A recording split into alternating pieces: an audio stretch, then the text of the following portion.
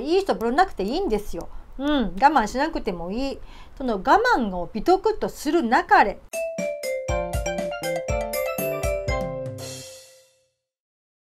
こんにちは。不倫解決カウンセラーの川村です。今日はですね、不倫で心が地獄の時はこれということをお伝えしていきたいと思います。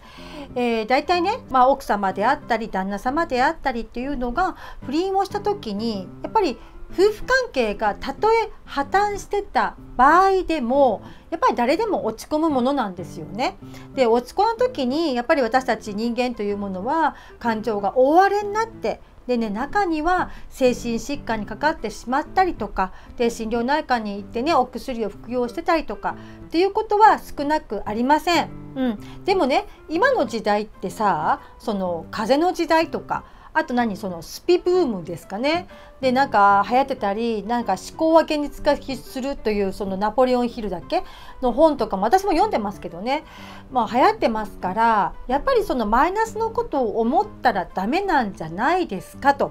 いうふうに私もご相談されることが多いです。でまあそれはねまあ確かにそのマイナスの言葉をマイナスの言葉であったりとかマイナスのことをずっと思っておくっていうことは良くない。と思います。ただですねただですよ心から出てくるものはしょうがないんですよ。わかりますか？心から出てくる感情っていうのは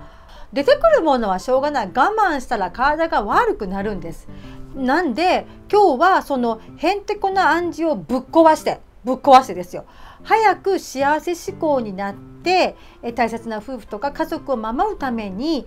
また心のね土台を作ってもらうためにまあファーストステップとなる考え方ですね。ということをお伝えしたいと思います。で今日の動画を最後まで見ることってえそれでいいの？川村さん。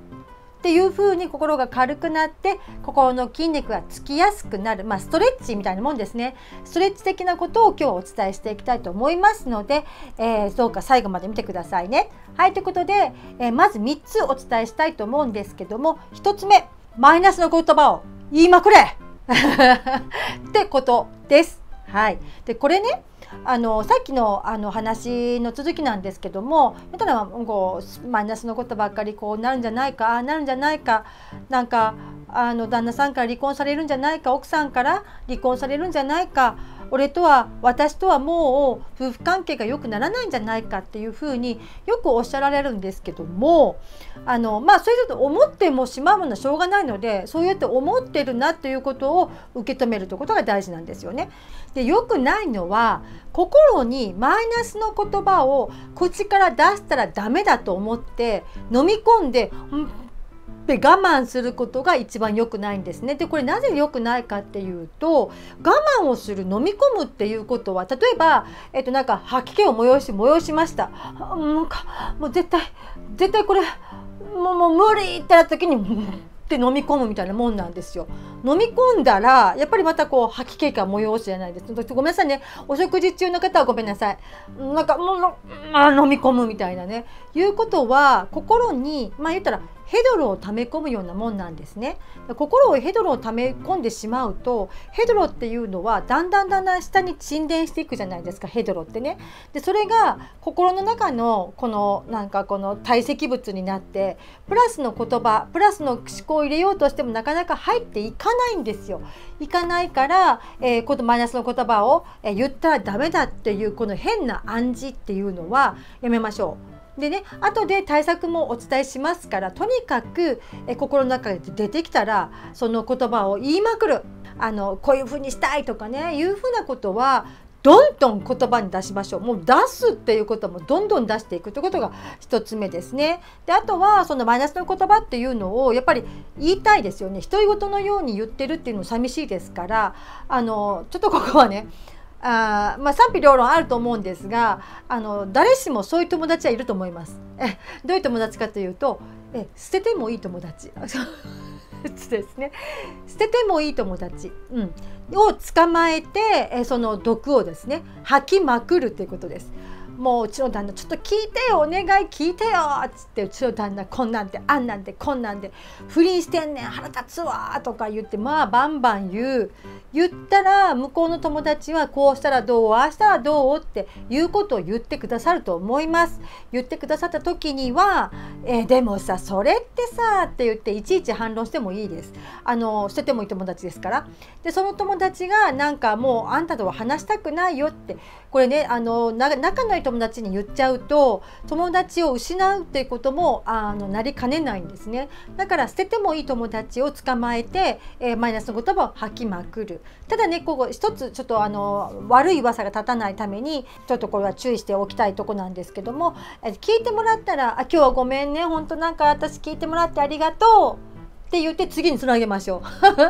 次につなげるでその友達がまあ次につながらなくてもなんか陰でねこそこそと「あの人不倫されてるらしい私も話聞いてうんざりだわ」とかいうそんな変な噂を立てられないためにも「ありがとう」って「助かったわ」って言って最後は言ってあげるってことが大事ですよ。でもねそのまあマイナスの言葉を吐きまくろうって私は言ってますけどもそのマイナスの言葉を吐き終わった後にはまあこれ対策なんですけどもそうやって自分が、えー、頑張ってる踏みとどまってる自分を褒めてあげましょうってことなんですね。なんかそうは言っても私は旦那が好きだから、えー、奥さんが好きだからこういうことを私は今言ってるんだよね俺は言ってるんだよねっていうことを自分ねよしよし頑張ってるよねっていうことを、えー、自分を褒めてあげてください。これをやってたら全然マイナス言葉なんかもバッバッ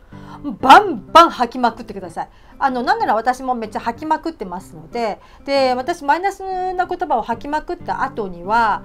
あーすっきりしたってじゃあ今日も頑張ろうとかいうようにしていますはい次2番目。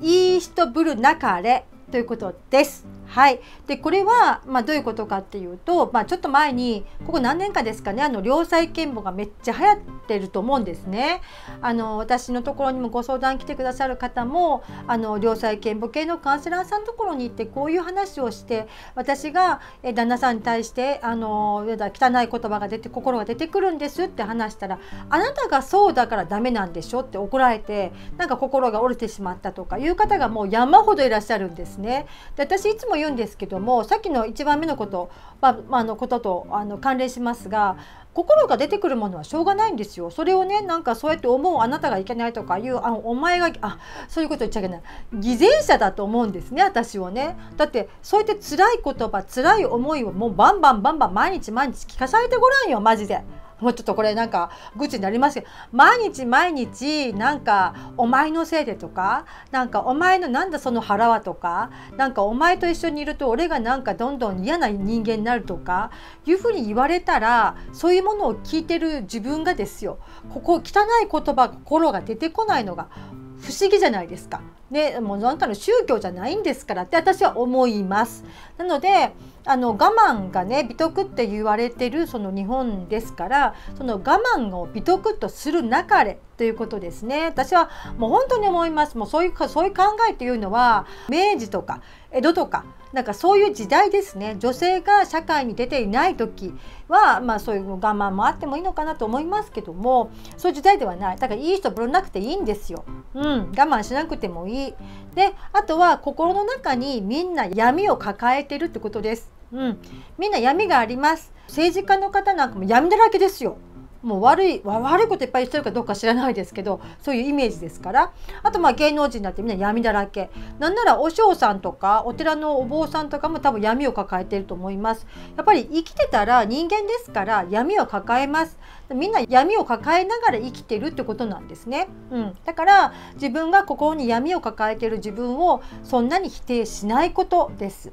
闇をみんな抱え私も抱えてます。あの今日のメルマガも書きましたけどあの私が一生懸命仕事をしている時に旦那さんが下でなんか携帯片手にオリンピックを1日12時間ぐらい見てるともうマジであの包丁困難したくなる。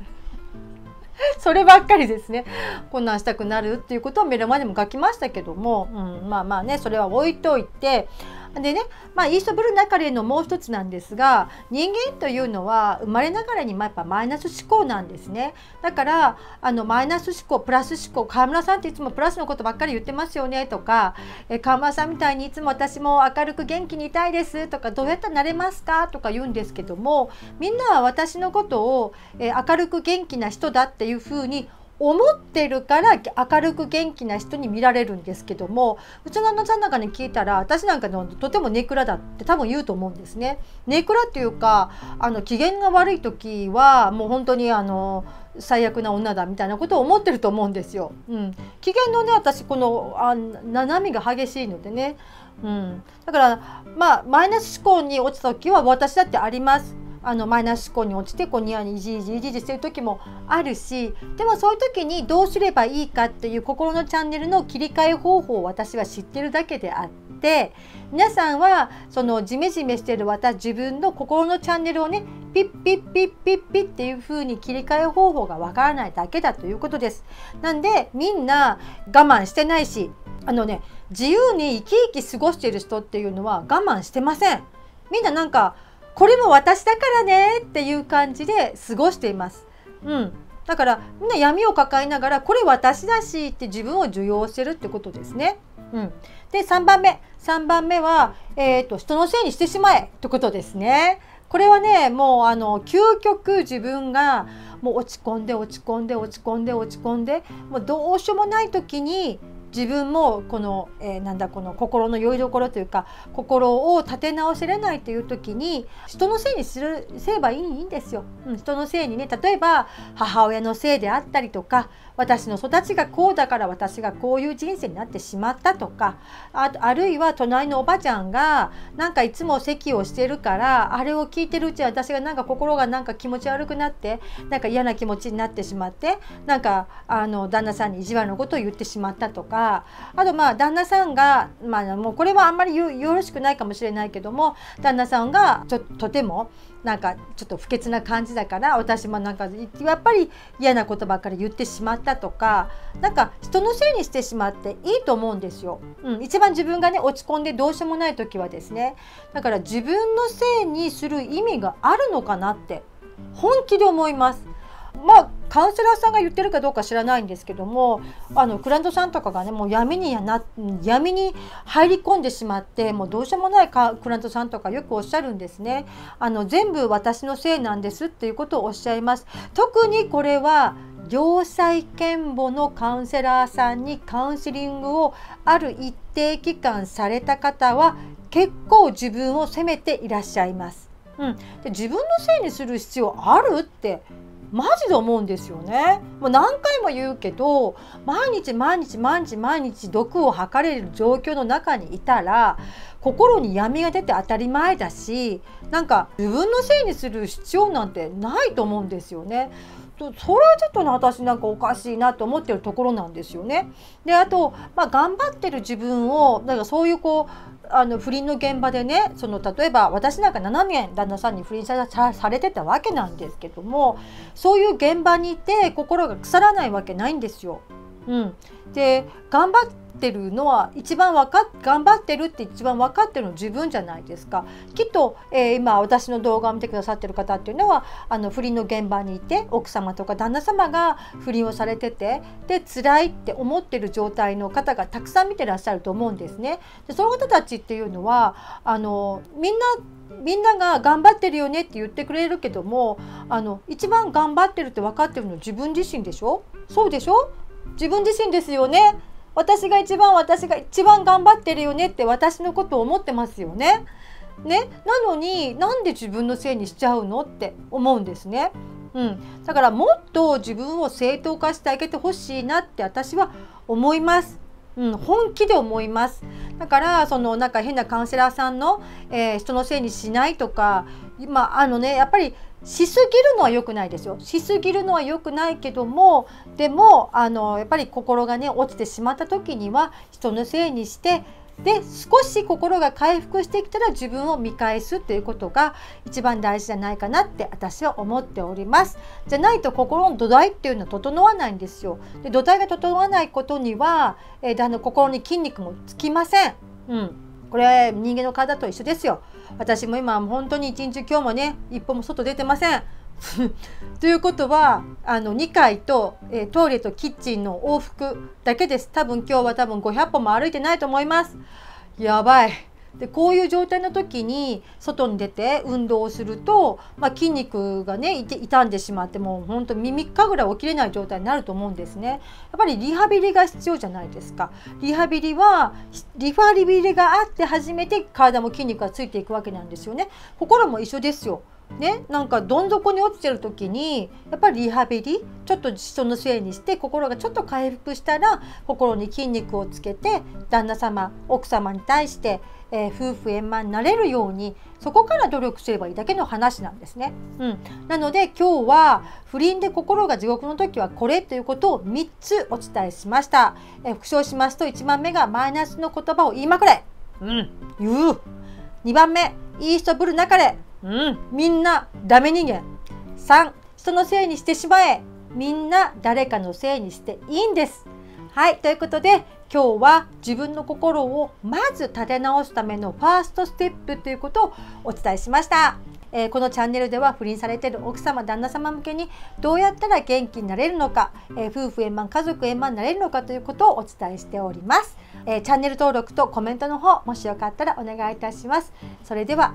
また。